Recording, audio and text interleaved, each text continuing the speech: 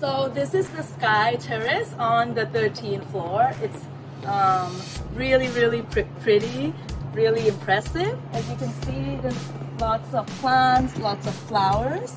Um, it's my favorite spot in this building because generally during the weekday it's quite quiet during the day so I like to come up here soak up some sun do some reading but um, as you can see this side you can see a really really pretty view of the CBD skyscrapers and it's very pretty at night because this, uh, there's lights, really pretty lights all over the rooftop. And sometimes we have barbecues here when it's warm enough. And yeah, I really love this place. It's really big and especially if you're in a small dorm room, it's nice to come up here and just to get some fresh air.